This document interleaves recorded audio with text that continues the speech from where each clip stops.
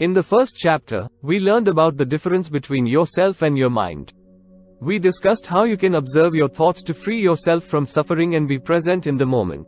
The chapter begins by acknowledging that nobody's life is completely free from pain and sorrow. It emphasizes that the pain you experience is often a result of not accepting the present moment. This resistance manifests as judgment in your thoughts and negativity in your emotions. The mind tends to deny or resist the present moment because it relies on time, which includes the past and future, to function and maintain control. However, this resistance leads to dysfunction, pain, and sorrow in our lives. If you find the present moment challenging or unpleasant, the advice is to accept it as it is. Observe how your mind labels it. By understanding the workings of your mind, you can step out of its resistance patterns and allow the present moment to be. The key is to accept and then act. Regardless of what the present moment holds, treat it as if you chose it. Work with it, not against it.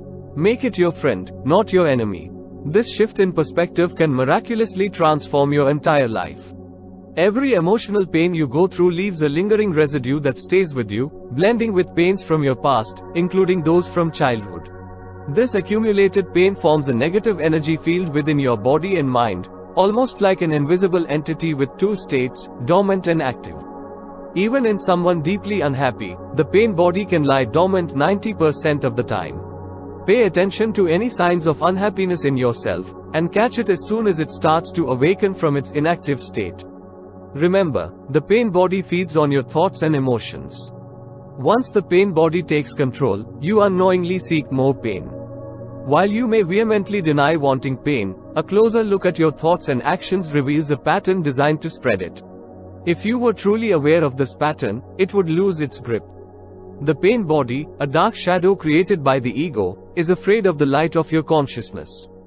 Despite its difficulty to accept, all pains are, in essence, illusions. The moment you observe it, feel its energy within you, and shift your focus to it, the identification is broken. This state is referred to as presence. You become the witness or observer of the pain body. When you start to disidentify and become the observer, the pain body may continue to operate and attempt to lure you back into identification. Even though you're no longer feeding it through your identification, it has a certain momentum. Therefore, remain a vigilant guardian of your inner space. You might face strong inner resistance when trying to disidentify from your pain, especially if you've closely identified with your emotional pain for a significant part of your life. If this resonates with you, observe the resistance within yourself. Notice your attachment to the pain and be keenly aware. Observe any peculiar satisfaction you derive from being unhappy and the compulsion to talk or think about it. The resistance will diminish when you bring it into conscious awareness. Then, redirect your attention to the pain body, stay present as the witness, and initiate its transformation. To summarize the process, focus your attention on the feeling inside you, recognizing it as the pain body. Accept its presence without turning the feeling into thoughts, judgments, or analysis. Avoid forming an identity around it. Stay present and observe what is happening inside you. Be aware not only of the emotional pain but also of the one who observes, the silent watcher. This is the power of the now, the power of your conscious presence. See what unfolds. For many women, the pain body tends to arise, especially before menstruation.